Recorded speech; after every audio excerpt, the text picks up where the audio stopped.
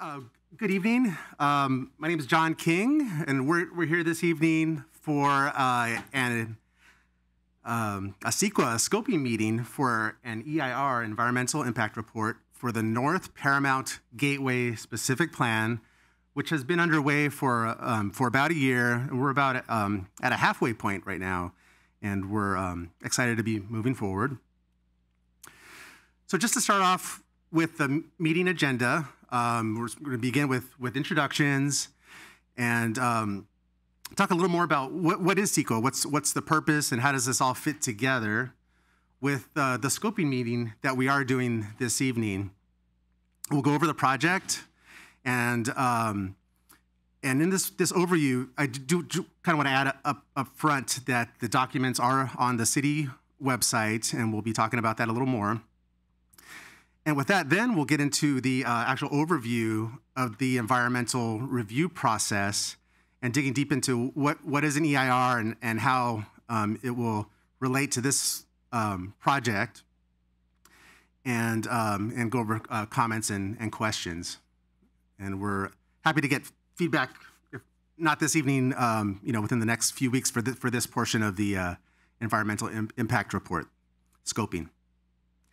So uh, just to introduce us, so the, uh, on the city side, um, well, again, I'm John King. I'm the assistant planning director. Um, the director of the department is, is John Carver. And also involved is Ivan Reyes. Um, Ivan is the uh, associate planner. And then uh, here this evening are um, the preparers of the environmental impact report. And they're from um, a firm called EPD Solutions. And we, um, we have here August, um, August McNabb, he's the associate CEQA planner.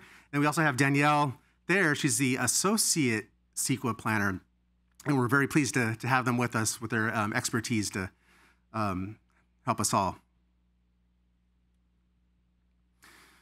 Now, what, what is the purpose of this meeting? Um, the purpose is to provide an overarching view of this project, of this specific plan project, and to solicit comments. So we, we really do rely on public participation. Um, we don't just say that. that. That is a defining principle of the planning department. It's a, it's a philosophy of, of the city. Um, in terms of transparency, we want to you know, shed light on, on what the project is and to make it a better project, uh, take, take comments and this will help refine the scope, and focus, and content of the Program Environmental Impact Report, the PEIR do you want to step back for a moment and discuss a spe specific plan. What, what is a specific plan? So that's this is something that's um, I was about to say it's a common um, term in the planning world in the state of California, but maybe it's not not so common. Um, so we have a good uh, discussion here on, on this slide. Specific plan is a comprehensive planning and zoning document for a defined geographic region. So in traditional city land use plans, there's a uh, zoning map where there's some, you know, you can call it just tra traditional zoning. In, in Par Paramount, we have a commercial zone, we have a few residential zones, we have some manufacturing zones.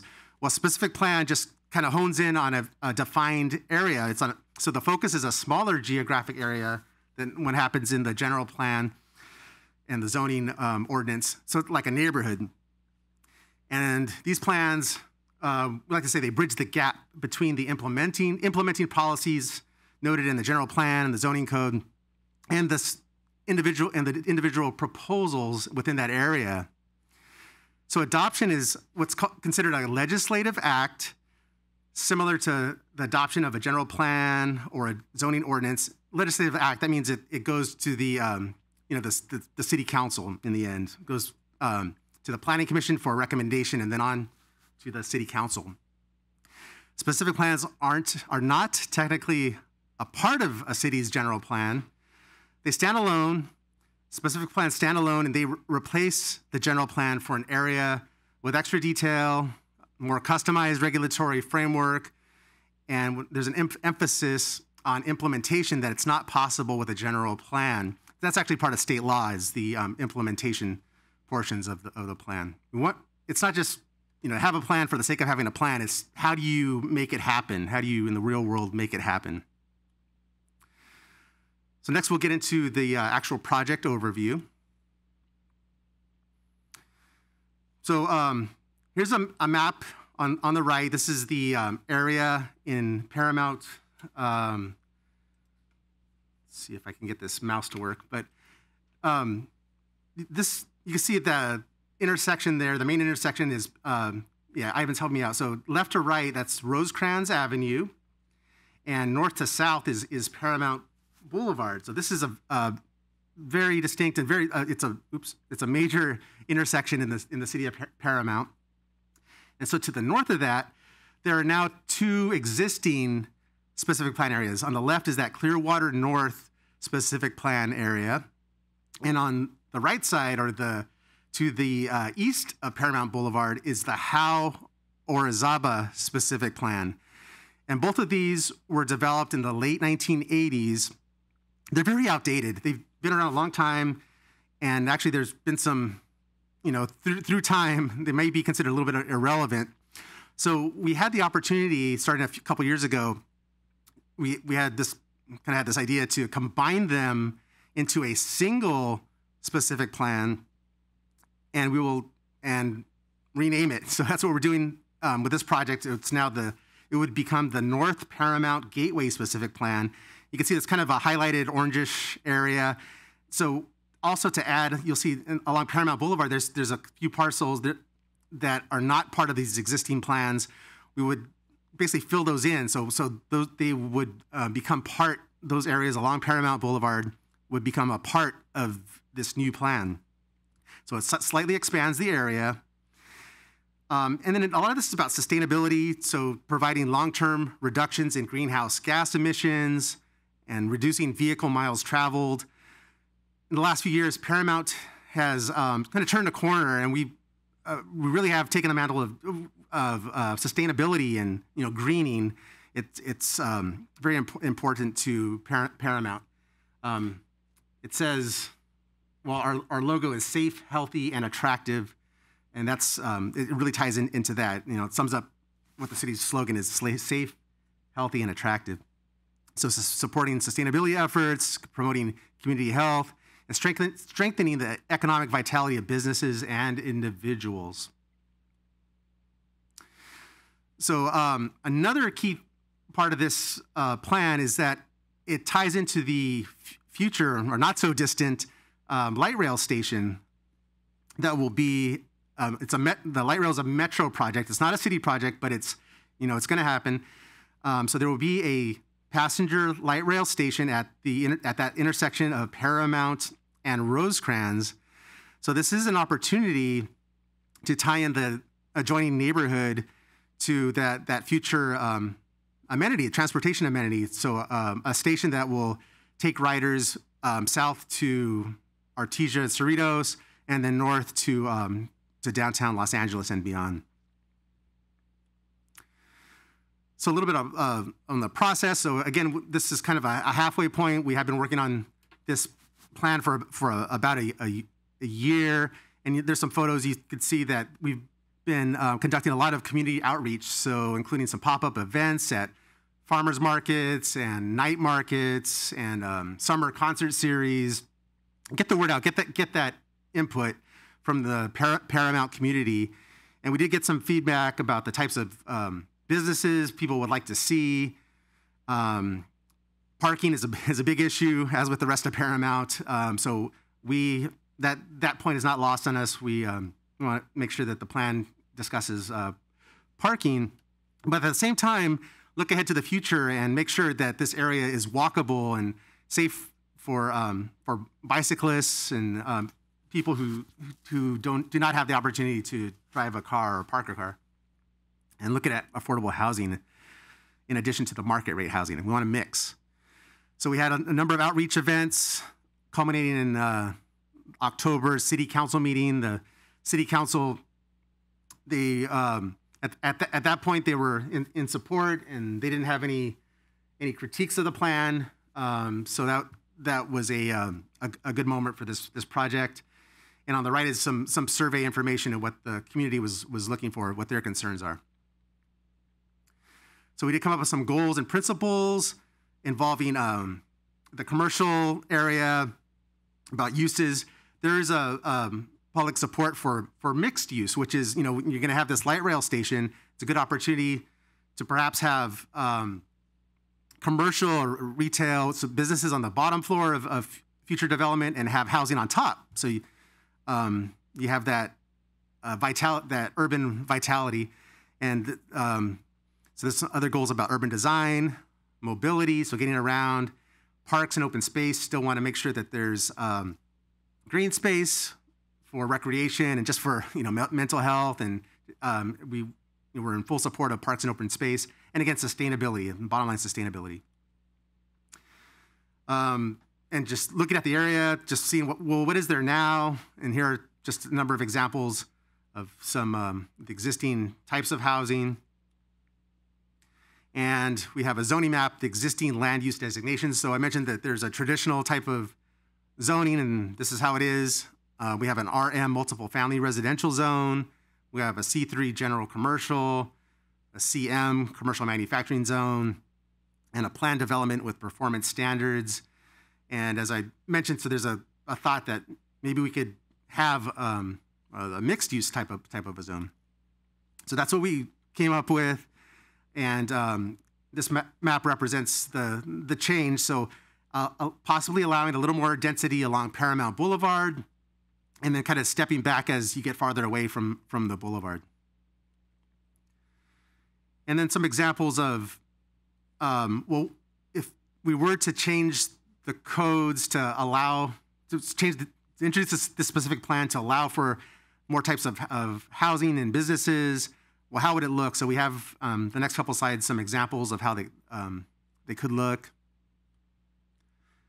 Here's another um, example of a kind of a, a mixed use or, or live work type of a type of a development.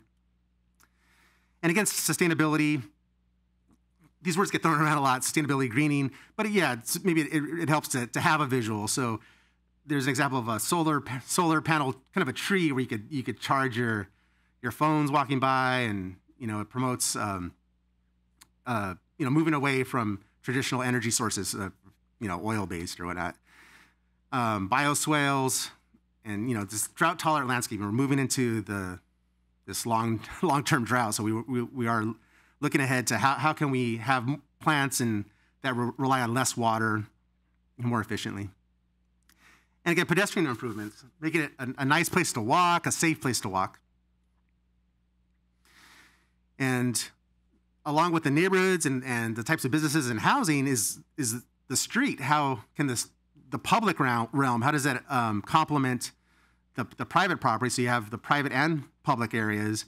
And um, so we're looking at some minor changes that could allow for um, again more walkability and and biking while while still maintaining the existing number of, of lanes for cars uh, that's we found that's very important to the community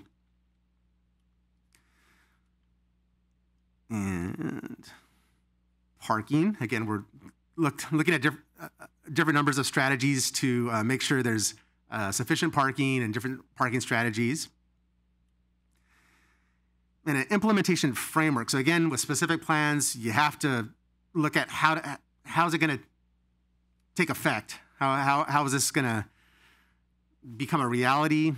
It's not going to happen overnight. So we are, this is a, you know, a 30 year plan and you'll hear about some numbers about some potential build out. So, so, so adding more housing.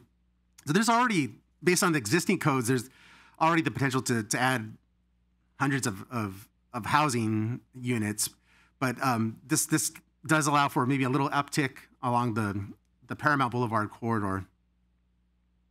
And I'm actually I'm going to stop there, um, or actually maybe just re- read through this last slide really quick about the discretionary actions. Um, so to have this take effect, we would um, after the completion of the EIR, the EIR would have to be certified by the City Council uh, the plan would be adopted, and that would include what's called a mitigation monitoring and reporting program. So on a ongoing basis, we want to make we want to evaluate the successes and maybe not so not so much of uh, success portions of this to to continually improve the plan. We want this to be um, a living document. And this also requires with a few things, a general plan amendment, zoning ordinance amendment, and a zone change. And that's where I'll stop and kind of hand, hand it off to August to, to complete this discussion.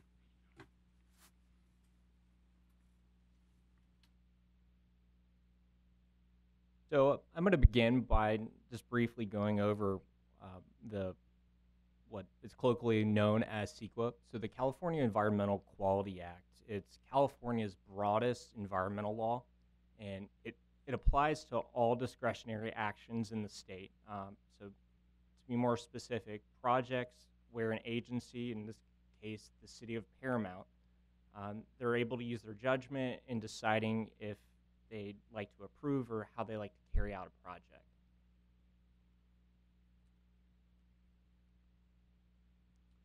In this case, for the specific uh, plan EIR, um, the purpose of this, the EIR, it's not to analyze if a project is good or bad. It's meant as a value neutral public disclosure document. And also, I want to point out that also not all impacts are to be mitigated through this practice. Um, in front of you, I'm got a environmental review process. Um, all the red squares in the diagram before you, these are opportunities for public input and comment. Um, you're going to see on the screen the notice of preparation stage that we're currently in and also the scoping meeting. Um, after that, we'll take approximately five to six months to go through the preparation phase for the draft EIR. And then um, this will be circulated uh, and go through a public review period where the public will have an opportunity to, to also have input and then it will go forward through the Planning Commission and public hearing with the City Council. Uh, the topic areas that are to be analyzed in the EIR. So there's 19 topic areas for an EIR. Uh, in this case, we're going to be screening out a couple of topics uh, that includes mineral resources, agricultural and wildlife. Um, but this is essentially leaves a little over 100 questions that the EIR will look at in addressing the environmental impacts of the project. Uh, to be a little bit more specific, under aesthetics, we'll be looking at scenic vistas and also if these public views are degraded, um, publicly accessible vantage points. Under air quality, we'll be considering um, if air quality plans or, or cause uh, for in increases in criteria pollutants will exist. Under cultural resources, uh, we'll be looking at historic buildings and um, homes in the area, ar archaeological resources. Um, under hazard, uh, we'll be looking to see if the project creates uh, significant hazards in the area. Um, for hydrology, uh, we'll be looking at drainage patterns, um, such things as soil erosion, um, runoff, uh, and uh, also to look to see if the plan would exceed uh, planned stormwater drainage systems in the city of Paramount. Uh, some other topics include uh, unplanned population growth, growth under the population area, um, displacement uh, of people in, in homes. Uh, we'll also be looking at public services, the need for new government facilities, acceptable ratios in the community, uh, response times for fire protection and police services. Um, under utilities, we'll be looking at things such as wastewater treatment and stormwater facilities to make sure that there's sufficient water supply for the community uh, also the capacity of the water wastewater treatment providers. Um, and through this process, we'll, we'll, be, we'll be able to adequately determine the impacts of the project and if there is significant impacts that we essentially need to mitigate for uh, through the environmental reporting process. So as I mentioned a moment ago, we have or, uh, sent out a notice of preparation for the specific plan EIR on January 6th. Uh, right now, we're in a 30-day public review and comment period. Um, this is scheduled to close on February 5th. Um, this is an opportunity for the community to uh, voice concerns and uh, potential topics that they believe that should be discussed as part of our review process. And um, I will also note out that while uh, February 5th is a, a Saturday, uh, we're making an effort to continue to accept comments for this project through February 7th uh, because that is a weekend. Um, the notice of preparation avail- is available on the city's website. Uh, you see it on the slide in front of you. And also, written comments for the notice, notice of preparation. Um, they can be um, sent to John King or assistant planner, uh, planning director with the city of Paramount um, at the email address that you see on the screen or uh, by written mail at the, uh, the city of Paramount Planning Department's uh, address. Um, so, public comments during this process, um, we're not looking to make any decisions tonight. Basically, we're looking at general concerns for the EIR process, and um, we'd like to hear the from the public what concerns that you have and uh, potentially things that should be addressed through our review process as we're looking at the topics I'd already mentioned. Uh, so at this point, I'm going to turn it over uh, to John. Um, we're, we're open to questions and comments, and um, the, the comment period will also be open, as I had said earlier, uh, for the next 30 days, um, and uh, look forward to hearing you know, what the community has to say with the specific plan. Thank you, August. So, um, yeah, just want to emphasize that, um, yeah, we will take comments in number a number of forms. So, email if anyone wants to just write up a, a letter and just and, and drop it off to our attention at the planning department at City Hall, or just even just City Hall, it'll make its way to us. That's fine, and um, and we'll have this. Uh, well, we have the doc, we already have the documents up on the, the city website, but we'll add be adding shortly um, comment um, options to uh, to accompany those those existing documents. And so, uh, yeah, just just want to add that we are really excited. I mean, some, sometimes in these um, types of types of meetings and presentations, it, you know, it could be very seem bureaucratic, but there is there is excitement. It's, it's just a, a, strange time with with during the during the pandemic, as everyone realizes. But uh, you know, I wish we could be out doing this at a block party or you know that kind of thing, just get, really getting the word out.